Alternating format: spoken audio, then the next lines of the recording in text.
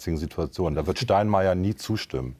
Über Neuwahlen entscheidet am Ende nicht das Volk, sondern der Bundespräsident. Aber auch nur dann, wenn entweder die Wahl des Bundeskanzlers scheitert oder der Bundeskanzler die Vertrauensfrage stellt und verliert. Dieses Szenario aktuell wohl eher unwahrscheinlich. Auch richtig. Natürlich ja. gibt es Alternativen. Immer. Es gibt skandinavische Modelle, wo es Minderheitenregierungen mhm. gibt, die sich jeweils die Mehrheiten zusammensuchen müssen. Es gibt holländische Modelle. Es gibt ganz viele andere Wege, es zu machen. Nur wenn man sozusagen an der Macht klebt, um an der Macht zu kleben, ich glaube, das schädigt auf die Dauer die Fantasie.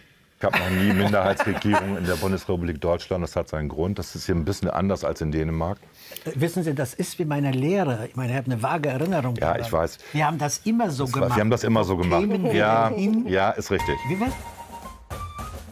Ein Mann, der sich Kolumbus nannt. Wede, wede, wid, bum, bum war in der Schifffahrt wohl bekannt. Witte, witte, witt, bum, bum.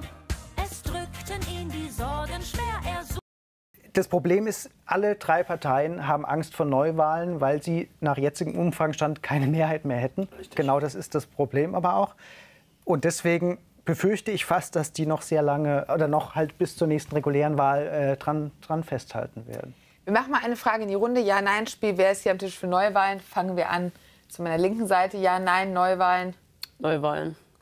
Herr Gräber. Neuwahlen. Herr Lüberding. Neuwahlen wird es nicht geben. Ich weiß gar nicht, wie die zustande wofür kommen. Wofür Sie wären. nicht, das, nicht, nicht was möglich Nein. wofür Sie wären. Nee, bin ich dagegen. Gegen Neuwahlen. Ja.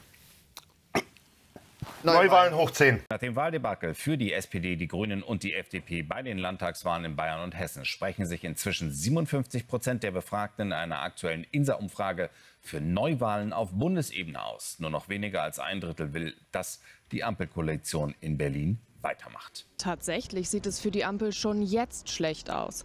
Die Menschen sind nicht nur unzufrieden, sie wollen sogar Neuwahlen. Laut einer INSA-Umfrage spricht sich die Mehrheit der Bevölkerung gegen das Ampelbündnis aus und plädiert fürs vorzeitige Ende. Nur weniger als ein Drittel will dagegen, dass die Bundesregierung weitermacht. 12 Prozent sind unentschlossen oder möchten dazu keine Auskunft geben. Der Kanzler reagiert unbeeindruckt, sieht keinen Anlass für Neuwahlen nach den schlechten Ergebnissen. Es ist wichtig, dass wir die Probleme lösen. Aber das ist immer richtig. Besonders mit der Migrationspolitik sind die Menschen laut der Umfrage unzufrieden. 59 Prozent der Befragten wünschen sich einen anderen Kurs bei dem Thema. Hilfsangebote dafür kommen von der Opposition. Auch für sie käme eine Wahl zur Unzeit. Einen Kanzlerkandidaten gibt es nicht und die AfD und Freien Wähler graben ihnen die Stimmen ab. Eine Zusammenarbeit mit der Ampel wäre der Union lieber. Doch sollten alle Bemühungen erfolglos bleiben und auch Kooperationsangebote scheitern, sind Neuwahlen dann wirklich ein geeignetes Mittel? Neuwahlen nur deswegen, weil man mit der aktuellen Regierung unzufrieden ist, führen ein politisches System lediglich in die Instabilität. Victoria, Victoria, bitte, bitte, bum, bum. Als er den Morgen Kaffee trank, bitte, bitte steht die Ampel vor dem Aus. Ja, so geht's auf jeden Fall nicht weiter, das sagt FDP-Vize Wolfgang Kubicki. Ihm reicht's. Immer neue Forderungen von Rot-Grün, immer mehr Kröten schlucken. Und was mich besonders nervt, meine Partei übrigens auch, jeden Tag haben wir Diskussionen über Steuererhöhungen und äh, Abgaben äh, besonderer Art. Frau Esken kann sich ja gar nicht mehr äh, einholen vor lauter Freude. Und vor allen Dingen müssen wir dokumentieren, auf den Vertrag, den wir geschlossen haben, kann man sich verlassen. Wer das in Frage stellt, SPD oder Grüne, der stellt diese Koalition in Frage. Ich Bruder, Sie haben zugehört. Ist das jetzt der Anfang vom Ende der Koalition? Nein, das glaube ich nicht. Die wollen durchhalten. Das sind Drohgebärden. Das ist Action in den Kulissen. Wobei, ich meine, er könnte schon sagen, lieber nicht regieren als schlecht regieren. Schlecht regieren als gut regieren. Hauptsache, man ist dabei. Es ist ja kein Zufall, es ist wahrscheinlich das olympische Motto. Hauptsache, man macht mit, nicht? Wir trennen uns nicht, nein. Wir machen ja einen guten Job. Das ist, wir sind das bürgerliche Korrektiv in einer überwiegend linken Regierung. Das muss man alle mal immer bedenken, dass wir eben nicht links sind. Und natürlich gibt es Kompromisse, die gemacht werden müssen. Ich finde, Deutschland kann froh sein, dass wir dabei sind. Ähm, was ist denn die Alternative? Es, da gibt es keine so richtige Alternative momentan. Also müssen wir das durchziehen.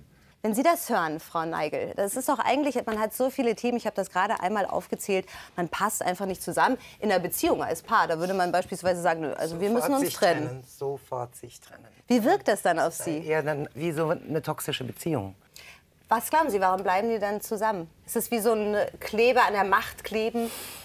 Naja, glauben heißt nicht wissen, aber ich vermute mal, dass es natürlich auch ein, eine Möglichkeit ist für die FDP, an der Regierung zu sein. Und Wir haben keine Alternativen und es wird auch keine Neuwahlen. So. Es wird keine Neuwahlen geben in der jetzigen Situation. Da wird Steinmeier nie zustimmen. Wir reden der ja schon, wir reden naja, schon gut, Frau aber Merkel. Es gibt immer eine Alternative. Es gibt Ja. immer eine Alternative. Also- Fehlt Ihnen Auf da der jeden Mut? Fall. Fehlt der FDP da der Mut? Nein, wir Nein, haben uns, glaube ich, wir haben uns, glaube ich, ganz gut arrangiert damit, äh, dass wir uns ähm, wie kleine U-Boote an vielen Stellen durchsetzen können. Sie nennen es arrangiert. Herr Kubicki nennt es Krötenessen. Ja, hat er auch recht. Man fühlt sich manchmal wie beim Krötenessen, das stimmt auch, aber das geht den anderen genauso.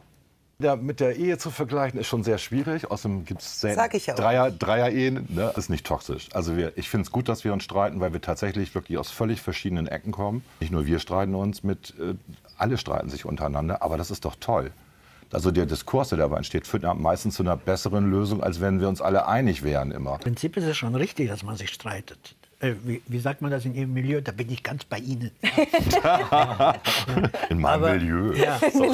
In meiner Blase. Ja, genau. In Ihrer Komfortzone. Ja, in der Komfortzone, genau. Mhm. Aber äh, wissen Sie, wenn Sie nochmal, ich muss darauf zurückkommen, wir sagen, es gibt keine Alternative, das ist Merkels Philosophie des Scheiterns. Ja, das ist auch richtig. Natürlich Ja. gibt es Alternativen. Immer. Es gibt skandinavische Modelle, wo es Minderheitenregierungen Mhm. gibt, die sich jeweils die Mehrheiten zusammensuchen müssen. Es gibt holländische Modelle. Es gibt ganz viele andere Wege, es zu machen. Nur, wenn man sozusagen an der Macht klebt, um an der Macht zu kleben, ich glaube, das schädigt auf die Dauer die Fantasie. Sehe ich genauso. Sagen Sie ruhig was.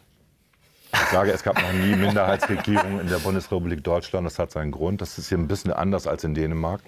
Wissen Sie, das ist wie meine Lehre. Ich meine, ich habe eine vage Erinnerung. Ja, daran. ich weiß. Wir haben das immer so Das war- gemacht. Wir haben das immer so gemacht. Ja, ja, ist richtig. Wie wäre es mit Neuem, was Neuem zu versuchen? Ja. Wissen Sie, was, einfach was Neues. Zum Beispiel Also- Fußball-Weltmeisterschaft in Katar. Das ist echt mal was Ich frage jetzt mal, was ich. Überlegen Sie mal, was wir alles schon Ja. Gutes gemacht haben. Sie haben gerade gesagt, die Energiepreise steigen ins Unermess. Das stimmt ja Sie wollen ja auch weiter Gutes machen. Ne? also wir Sie haben ja wollen eine weiterhin Menge- in der Regierung bleiben. Sie wollen Menge- weiter Sachpolitik betreiben. Sie brauchen Genau. jetzt die Liste gar nicht auf. Sie wollen da ja auch weitermachen. Mit Bum Bum, da rief er fröhlich, Gott sei Dank. Witte, witte, witt, Bum Bum. Denn schnell kam mit der ersten Tram der spanische König bei ihm an. Gloria Victoria, witte, witte, witt, Juchai Rassa. Gloria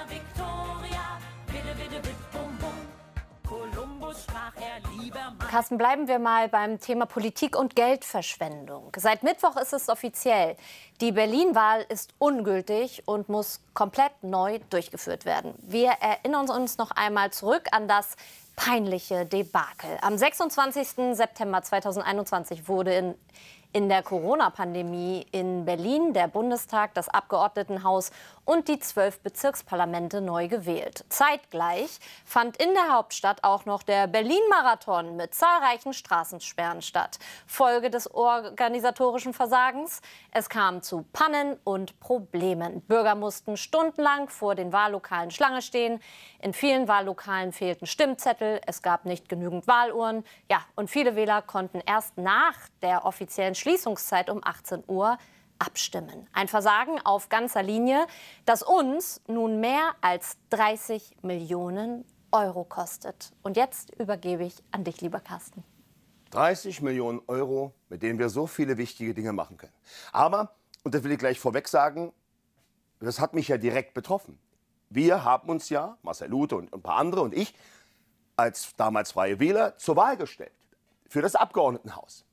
Und der damalige Innensenator, Herr Geisel, hat entschieden, dass von 365 möglichen Tagen, genau an dem wichtigsten Tag unserer Demokratie, Abgeordnetenwahl im Abgeordnetenhaus für Berlin und Bundestagswahl, hat Herr Geisel entschieden, dass dieser Marathon, der viele Straßen sperrt und viele Umwege gehen muss, dass der an dem Tag stattfindet.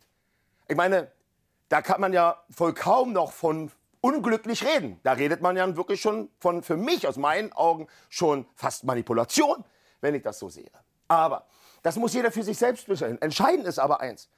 Die Demokratie wurde hier mit Füßen getreten.